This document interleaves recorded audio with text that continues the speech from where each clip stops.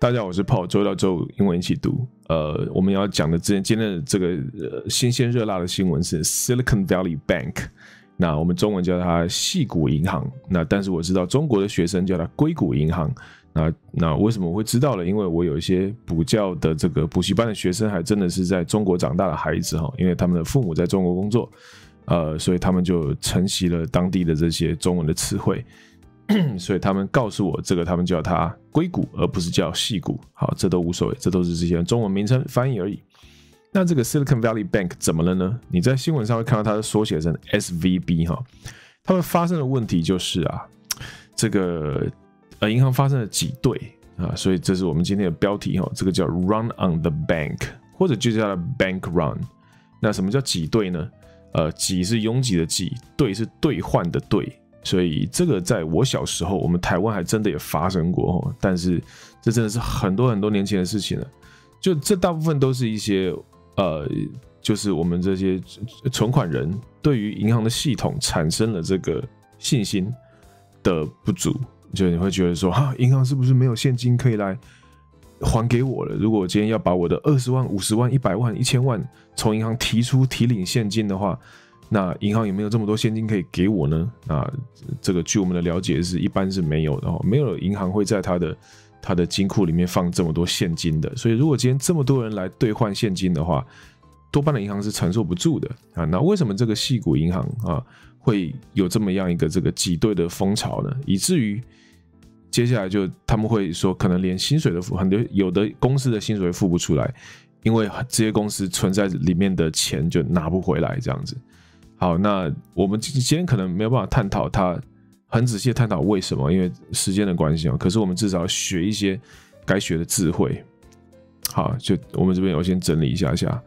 好，来吧，我们就一个个看吧。其实我现在，总之我我在做影片的这个过程中，常常都会有一些，哎，路线上的摇摆不定。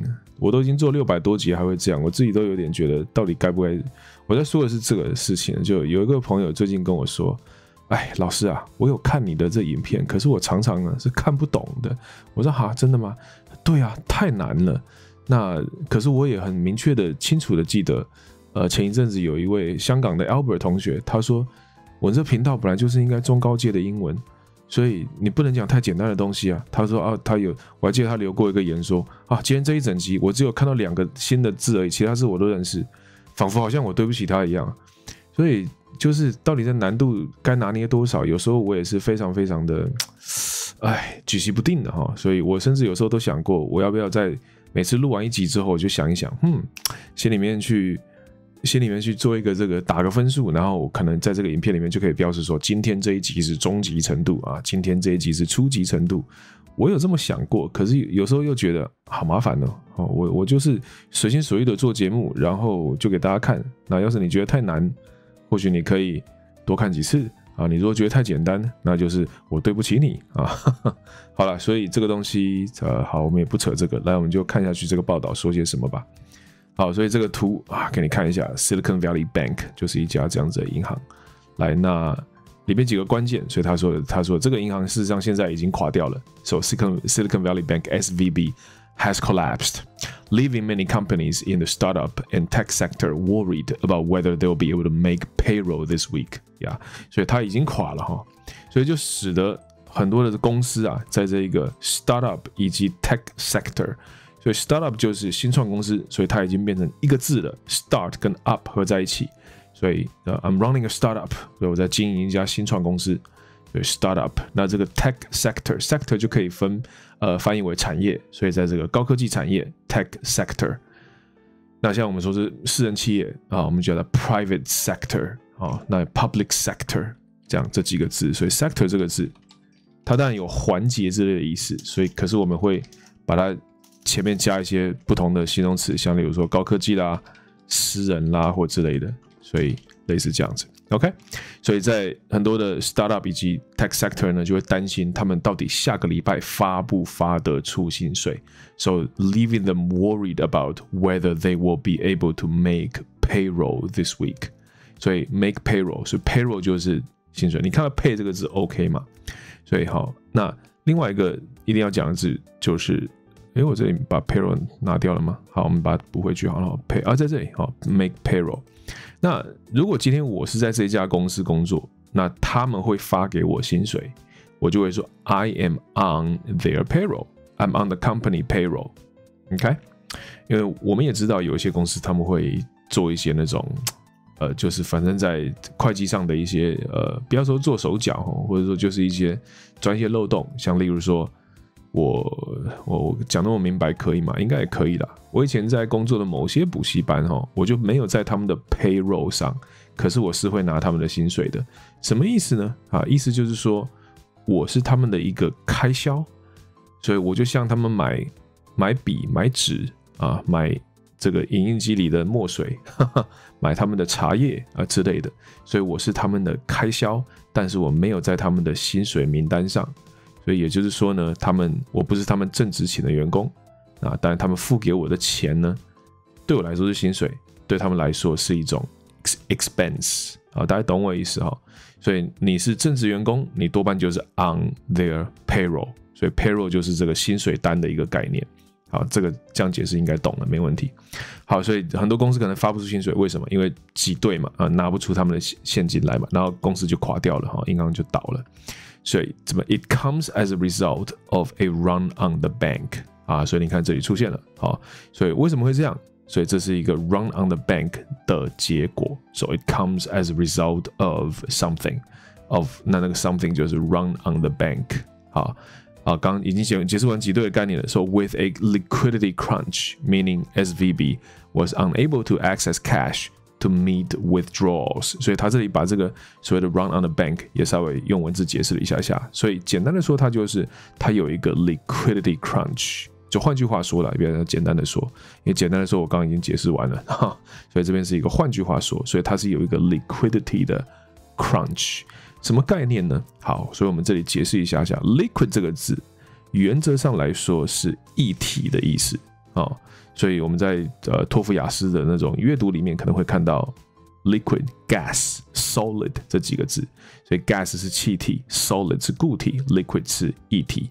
那液体在金融呃上面经济来来说的话，它我们把它讲成是流动资产的概念。所以有一个词这边有写到叫做 liquid liquid asset。OK，liquid asset，也就是说很能够轻易换成现金的东西，我们大概就可以称它为是 liquid asset。OK，或者现金本身。所以这里的 liquidity crunch 的概念，它就翻译成周转的危机哈呀。所以你在周转上周转不过来，你现在就面临着一个 liquidity 的 crunch，liquidity crunch。那 crunch 这个字，我们也再多补充一下下。所以我。既然刚刚翻译成周转危机，那 crunch 就是危机吗？可以这么理解，因为 crunch 有好几个翻译，这其中一个翻译就叫做困难。所以你在现金周转上有困难，也就翻译成周转危机也大概是可以的，对不对？所以 crunch 这个字，好，困难，还有另外几个意思。我们在好久好久以前曾经做过，就是如果讲扶那个仰卧起坐，传统的叫做 sit up，因为你就是躺着然后坐起来嘛，所以仰卧起坐叫做 sit up，sit up。但是有一种另外一个版本的，我们叫卷腹，就是把肚子卷起来，所以并不是做全部的这个从躺平到坐直的仰卧起坐这么完整的一个我这一个这个姿态，而是你只有把肚子稍微微微卷起来，所以你的上半身离开地面，但是你的那个后腰还是贴在地面的，所以这种我们有时候叫它卷腹，或者就叫它 crunch，好，所以就是挤压你的腹部了，简单的说，所以这里有一个简单的翻译叫做腹肌锻炼。可是你要理解这个东西，并不是我们传统的仰卧起坐。OK，那还有另外一个就是发出这个嘎吱的响声，所以我都还记得以前在国外住的时候，有一款巧克力，它的名字就叫做 Crunch，那都是牛奶巧克力，但里面包的那个米果啊，应该知道在说什么。台湾有很多牌子是这个样子，我记得好像有一个传统的这个本土的巧克力叫盖奇还是叫什么的，叫做 Catch，好像是。那它里面就是包米果的，所以咬起来就咔哧咔嚓的，啊。所以如果说今天一个东西咬起来很咔哧咔嚓的，像我知道我们有一款很传统的零食叫卡里卡里，如果你还像我一样有印象的话，还有还还还买得到，因为它有咸的口味跟甜的口味。那我们叫它卡里卡里，可是它吃起来呢，你就可以描述它，it is very crunchy，所以变形容词，OK，crunchy 也是有这样的一个字的。好，所以 crunch 应该就没问题了。所以也有另外一个，呃，这边再补充一个常见的名词，叫做 crunch time。crunch time 就可以被翻译成是关键的时刻，因为我们刚刚有理解到它有困难的意思，所以困难的 moment，关键的 moment，我们可以叫它 crunch time。所以这几个都是常见的一些词。好，好，可以，太好了。所以 他刚才说过，就是说它是一个 run on the bank。那也就是它有周转的危机，表示它没有办法来去生出现金，来去满足这一个大家这个 withdraw 的需求。withdraw 就就是提款了，好，满足大家提款的需求。这段我再念一次好了，因为它算比较重要的。所以为什么它 collapse 掉呢？It comes as a result of a run on the bank with a liquidity crunch, meaning SVB was unable to access cash to meet to meet withdrawals。好，可以。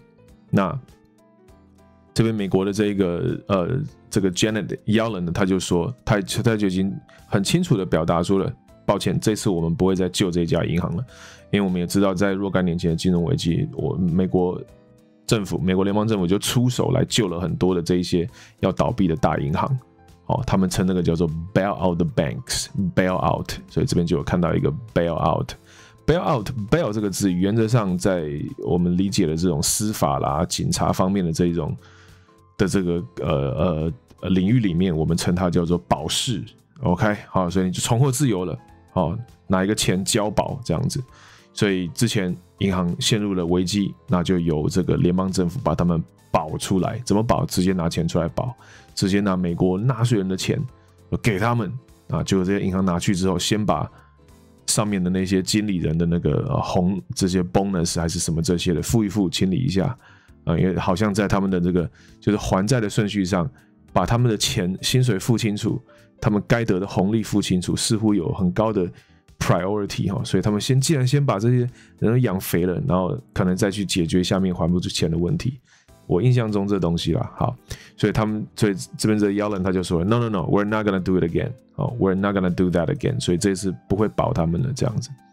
好，所以来还有一个字，这边再往下看，So it's been a crazy few days for the banking industry, specifically for Silicon Valley Bank and its shareholders, as it went from supposedly stable and solvent to close down by the regulators in the space of just over 24 hours. 好。所以这在过去这几天呢，对于这个呃银行业产业非常的疯狂哈， 特别对于这个就刚刚说的 S V B 的这一家以及它的这些股东们 shareholders，因为 as it 因为它 went from A to B，所以这个 went from 什么 to 什么的结构，那 from 什么东西呢？supposedly stable and solvent，那本来啊大家认知中它是很稳定，以及是很 solvent，等一下再来解释 solvent。到什么呢？到被这个就是呃，我是可以讲说政府的那个呃 regulator，所以政府的这个监管方可以说哈，就他就被监管方就给关掉了，所以他是被美国政府 shut down 了，听起来是这样。所以从 stable 跟 solvent 到被关掉，就在二十四小时内，所以很夸张哈。